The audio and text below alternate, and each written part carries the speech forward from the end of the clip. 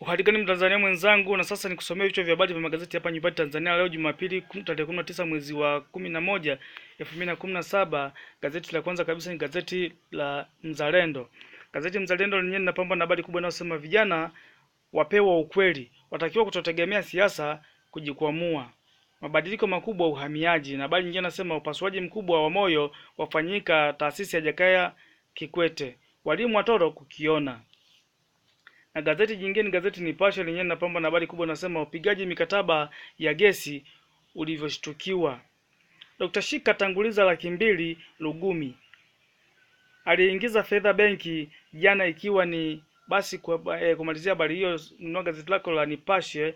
Na habari nyingine nasema Mugabe basi tena waandamana kumtoa, saa zake madarakani sasa zinahesabika. Habari nyingine nasema muujiza mti wa mlonge, daktari aeleza unavyofanya eh, unavyofyeka pressure kuwaongezea maziwa wenye vichanga. Saa mia moja ishirini eh, saa mia moja ishirini za lulu gerezani. Na habari nyingine nasema eh, katika upande wa michezo hii iki, ikisema Boko anuka Minoti aki- akiipaisha Simba. Habari kamili katika ukurasa wa thelathini na mbili na gazeti jingine gazeti ya Habari Leo likipambana na habari kubwa inayosema maajabu matatu ya kutibu moyo kupitia mishipa. Faida ya upasuaji wa aina hii ni kumwezesha mgonjwa kutoka chumba cha upasuaji akiwa anatembea mwenyewe. Habari kamili tutasoma katika ukurasa wa pili. Serikali yapania kuongeza wataalamu wa kodi, na habari nyingine nasema Kinyerezi tu yaandaliwa yaandaliwa kuingizwa kwenye gridi. Watakaovujisha siri za, za takwimu kutupwa jela. Watakaovujisha siri za takwimu kutupwa jera Habari kamili utaisoma katika ukurasa wa thelathi, eh, katika ukurasa wa pili.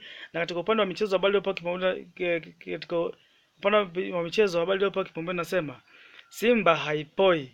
Habari kamili utasoma katika ukurasa wa thelathini na mbili na habari nyingine nasema Marekani, China zasisitiza utawala wa kiraia Zimbabwe. Habari kamili utasoma katika ukurasa wa tatu.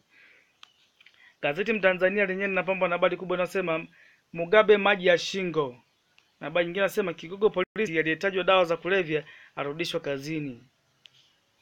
Habari nyingine katika gazeti inasema polisi watawanya kwa mabomu waliotaka kumwona Lowassa. Habari kamili katika ukurasa wa tano.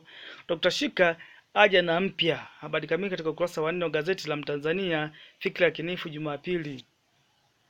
Gazeti Mwananchi lenyewe linapambwa na habari kubwa inayosema mstaafu wa mafao ya shilingi bilioni moja nukta saba tano ajitokeza ataka kumwona JPM.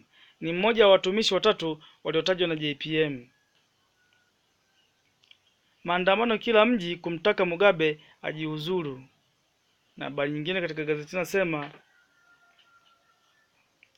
waliofurika kumlaki Lowassa watawanywa kwa mabomu. Dr. Shika aibua jipya, alipa dola mia moja.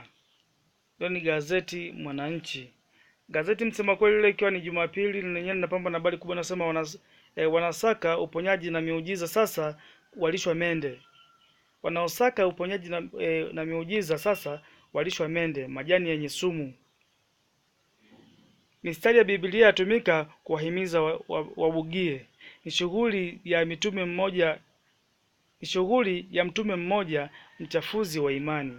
Na habari nyingine nasema kanisa la EAGT la kanusha kute, kumte, kumtelekeza mjane wa Askofu Kulola lapiti, eh, lapitisha kwa kishindo mabadiliko ya katiba kwa kura elfu moja mia sita na sita kati ya kati ya mia moja na sitini na moja.